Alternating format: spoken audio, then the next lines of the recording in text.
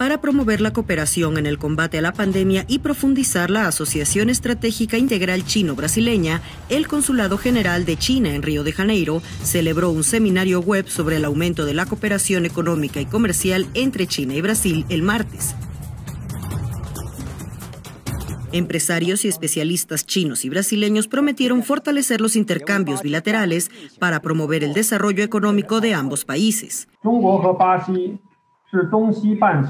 Brasil y China son dos países en desarrollo importantes en Oriente y Occidente.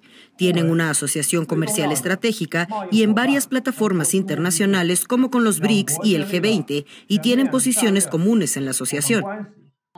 China y Brasil han impulsado las relaciones de inversión en los últimos años y el país asiático se ha convertido en la mayor fuente de inversión extranjera en Brasil. En este momento de pandemia es importante compartir el conocimiento para multiplicar la prevención y la cura, y las grandes empresas de ambos países han presentado experiencias adquiridas en la lucha del nuevo coronavirus. China tiene la visión de que se necesita cooperación y solidaridad para trabajar juntos para combatir el nuevo coronavirus como una civilización común. Y también la visión de China es trabajar hacia esta recuperación económica.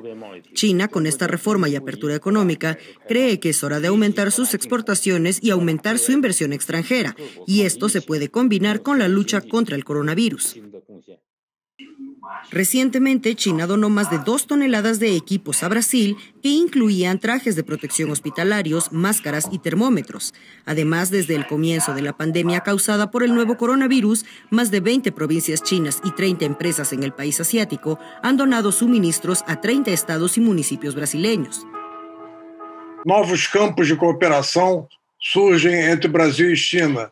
Están surgiendo nuevos campos de cooperación entre Brasil y China y me gustaría señalar en particular que en un momento en el que estamos luchando contra una pandemia de coronavirus, la cooperación Brasil-China ha demostrado ser muy significativa, no solo a través de la cooperación y la donación de material, equipo hospitalario, respiradores de China a Brasil, así como para el trabajo conjunto que están haciendo en el desarrollo de una vacuna cuya fase 3 ahora está comenzando en Brasil.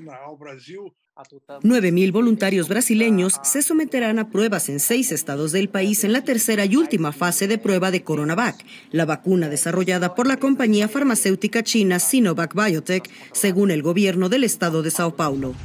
Con información de la oficina en Río de Janeiro, Brasil, Noticias Xinhua.